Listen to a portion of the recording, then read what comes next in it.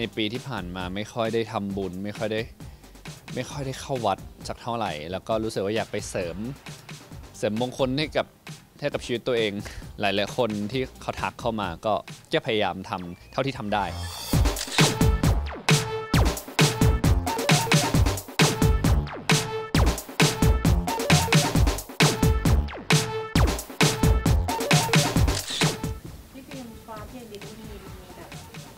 คิวอะไรอยู่อีกไหมหลังจากนั้นพวกช่างตั้งเขียวได้อ๋อมีมีครับหลังจากคิ้วแตกไม่มีแล้ว หลังจากคิ้วแตกก็ไม่ไม่ค่อยได้ไม่มีลดผลละเพราะว่าเพราะว่ากังวลเหรอ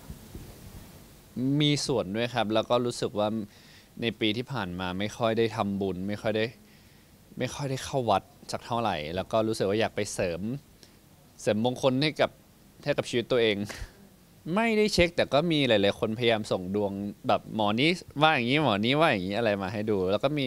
หลายๆ คนที่เขาทักเข้ามาก็จะพยายามทำเท่าที่ทำได้ ก็สะเดาะเคราะห์ไหว้บูชาทำบุทำบุญทำสังฆทานอะไรแบบเนี้ยครับ ถามว่าจริง ๆ เป็นคนเชื่อขนาดนั้นไหมก็ประมาณหนึ่งแต่ว่าคนที่เชื่อหนักกว่าคือคุณแม่เพราะว่ามีหลาย ๆ คนที่รู้จักคุณแม่เขาทักเข้ามาก็เลยอไปเพื่อความสบายใจของเขาแล้วก็เพื่อความสบายใจของเรา ผมว่ามันเป็นเรื่องของความสุขทางใจมากกว่ามั้งกับการได้ทำบุญได้กราบสักการะมันมันไม่ใช่เรื่องของชงร้อยเปอร์เซ็นต์ขนาดนั้นนะครับ ธุรกิจธุรกิจก็ตอนนี้จริง ๆ ยังทำอยู่นะ แต่ว่ายังไม่ยังไม่มีเวลาที่จะ run โปรเจกต์ใหม่ยังกำลังคุยกันอยู่ครับ อารมณ์รู้สึกเหมือนเราเป็น artist ทั้งคู่เลยอะทั้งตัวผมทั้งหุ้นส่วนก็แบบเออเดี๋ยวค่อยทำแล้วกัน แต่ว่ายังยังทำอยู่นะเดี๋ยวมีอารมณ์แล้วมาทำกันใหม่หรือเราทำเราทำเอาสนุกอะไม่ได้เอารวย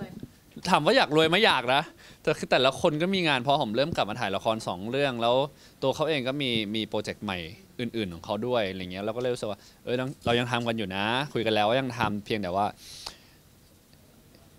ขอเวลาคิดกันก่อน จะทำอะไรดีคือหาจุดที่มันพอใจทั้งคู่ยังไม่เจอใช่ไหมหมายถึงในเรื่องของ product นะ ไม่ใช่แบบการทำงานคือเราโอเคในกับกับการทำงานด้วยกันทั้งคู่ต่างใช่ครับหรือแบบ เราอยากทำอะไรที่แบบมันเป็น limited edition ถ้าถ้าสังเกตจะเห็นว่าในแต่ละคอลเลกชันผมจะผลิตมาไม่เยอะ แล้วก็ไม่ resale ก็คือหมดแล้วก็หมดเลย แต่ละคนน่ะมีเวลามีเวลาคุยงานกันจริง ๆ จังๆ มันไม่เท่ากัน แล้วเราก็เลยรู้สึกว่าแบบเราอยากทำให้ทุกอย่าง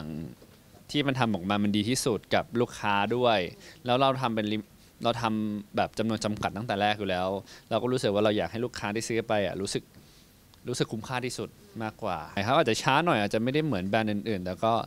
ก็ยังยังทำอยู่ยังทำอยู่ครับ ยังไม่ทิ้งแน่นอน